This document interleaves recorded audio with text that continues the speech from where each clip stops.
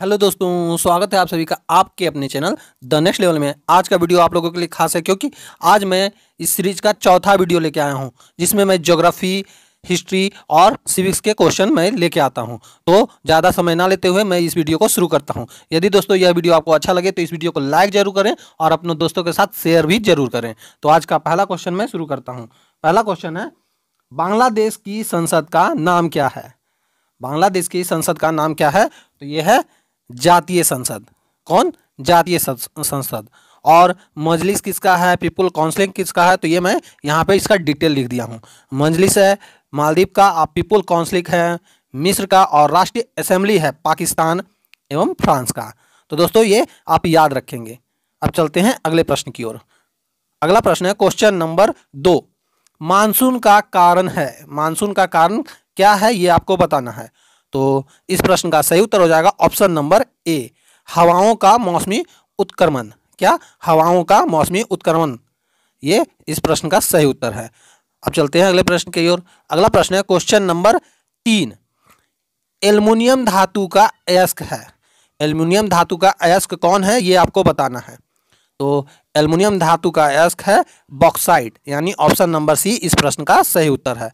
दोस्तों, आप हमें सोना का एस्क के बारे में ज़रूर कमेंट बॉक्स में बताएँ, सोना का एस्क कौन है?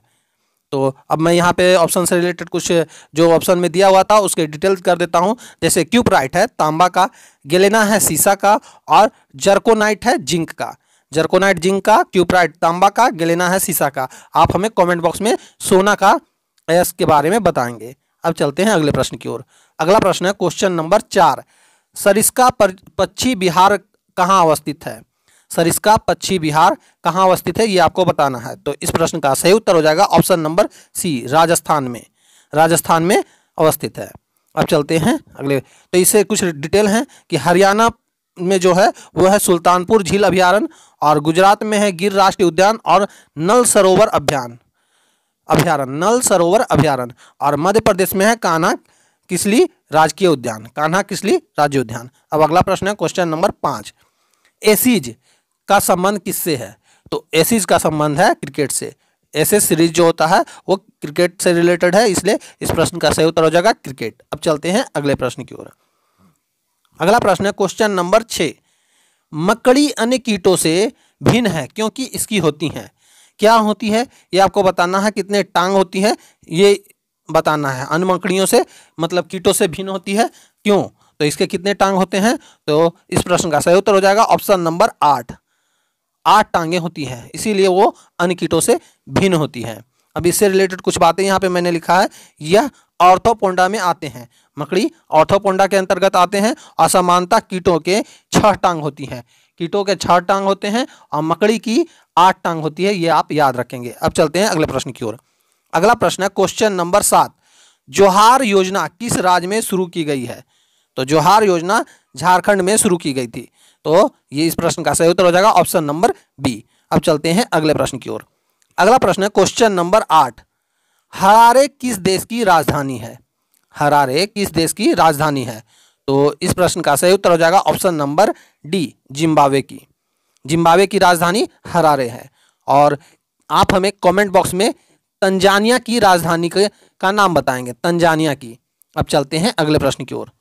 अगला प्रश्न है, क्वेश्चन नंबर नाइन। संविधान की किस धारा में सर्वोच्च न्यायालय के न्यायाधीश पर महाभियोग का प्रावधान है? तो सर्व धारा, वह धारा है 124 124 के तहत, धारा 124 के तहत सर्वोच्च न्यायालय के न्यायाधीश पर महाभियोग लगाया जा सकता है।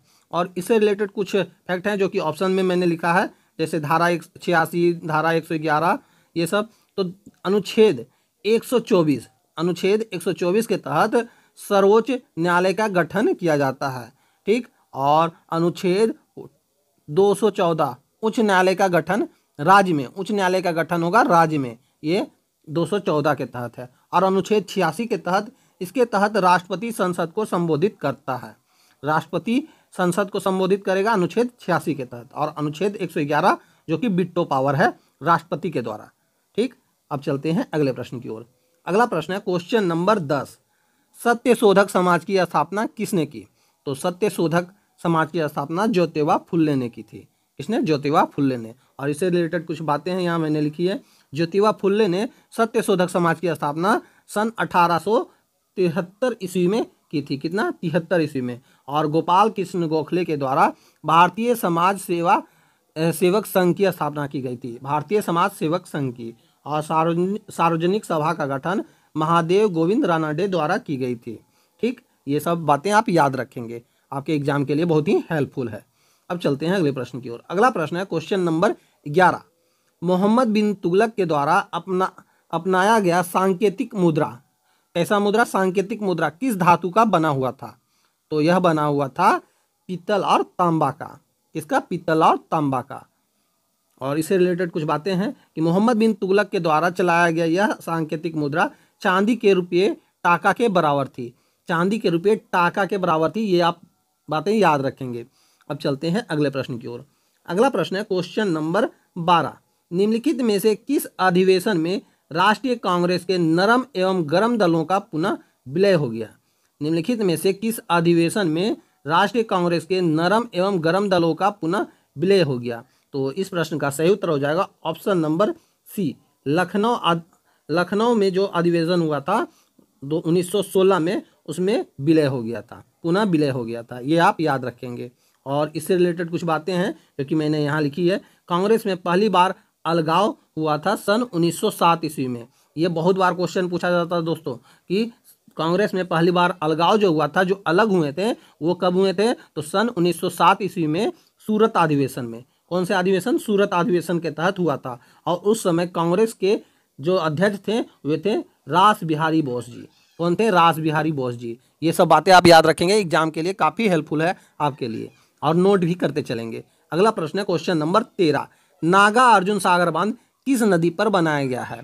तो नागा अर्जुन सागर बाँध, देखिए, यहाँ पे ऑप्शन में देखिए, हम सभी जानते हैं नागा अर्जुन सागर बाँध जो है, वो कृष्णा नदी पे है। तो यहाँ कृष्णा नदी के दो ऑप्शन हैं। अब परंतु इसमें जो स्टेट है, वो अलग दे दिया है। तो स्टेट के वाइज याद रखना होगा। तो इस प्रश्न का सही उत्तर हो जाएगा option number A Andhra Pradesh में कृष्णा नदी में के ऊपर आंध्र प्रदेश में नागा नागार्जुन सागर बाँध।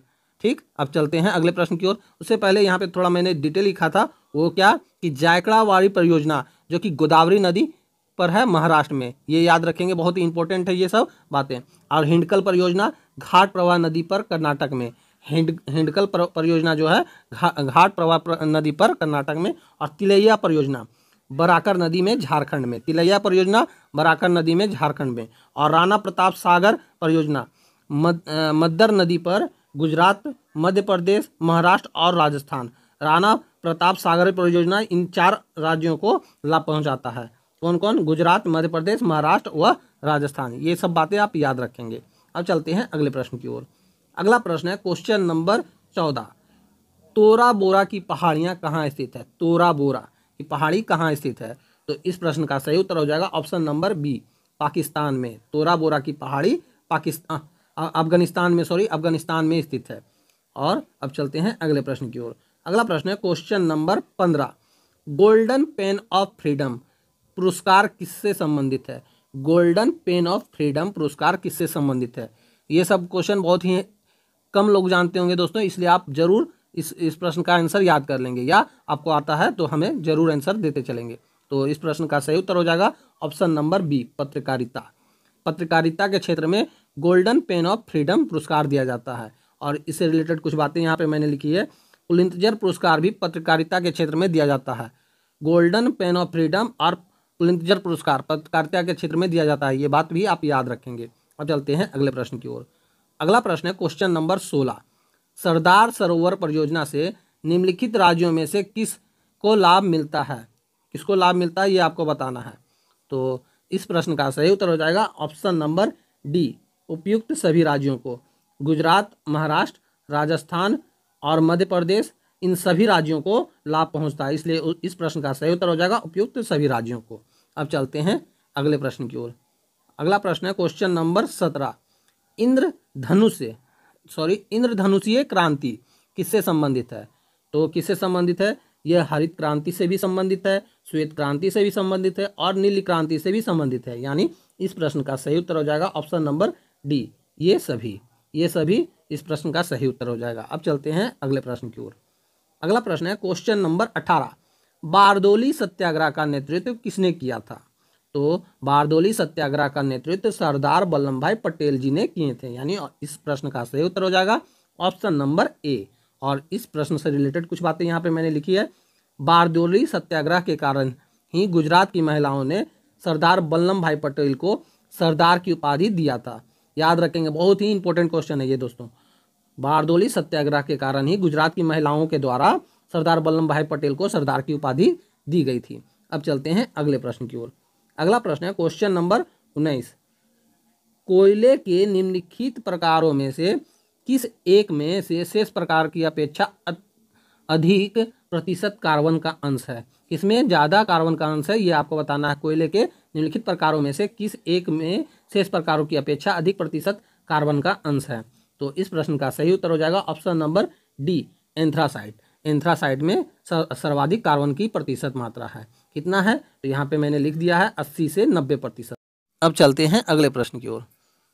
अगला प्रश्न है क्वेश्चन नंबर बीस। सूर्य के परिता एक परिक्रमा के लिए निम्नलिखित में से कौन सा ग्रह अधिकतम समय लेता है? यहाँ निम्नलिखित में से बोला गया है तो दिया हुआ ऑप्शन पृथ्वी, बृहस्पति, मंगल और प्लिहा। तो इस प्रश्न का सही उत्तर हो जाएगा option number B, Brihaspati. Brihaspati ग्रह सर्वा जो है, निम्नलिखित ग्रहों में से सर्वाधिक समय लेगा। और इसे रिलेटेड कुछ बातें मैंने यहाँ पे लिखी है कि बृहस्पति ग्रह जो है, वह इलेवन पॉइंट नाइन वर्ष में सूर्य का एक परिक्रमा करता है, यानी लगभग बारह वर्ष में, लगभग बारह वर्ष में, इलेवन पॉइंट नाइन। और सबसे कम समय में जो करता है, वह कौन ग्रह है? वह वह बुध। अट्ठासी दिनों में सूर्य की एक परिक्रमा कर लेता है। और सबसे ज़्यादा समय जो लेता है, वह लेता है अरुण। अरुण कितना समय ले लेता है? एक वर्ष। ये सब बातें आप याद रखेंगे। अब चलते हैं अगले प्रश्न की ओर। अगला प्रश्न है क्वेश्चन नंबर इक्कीस। गुप्तकालीन हिंदू धर्म को, के दो प्रमुख देवता हैं? गुप्तकालीन हिंदू धर्म के दो प्रमुख देवता कौन कौन हैं? तो वे हैं शिव जी और विष्णु। कौन? शिव जी और विष्णु। यानी ऑप्शन नंबर बी इस प्रश्न का सही उत्तर हो जाएगा। अब चलते हैं अगले प्रश्न की ओर। अगला प्रश्न है क्वेश्चन नंबर बाईस।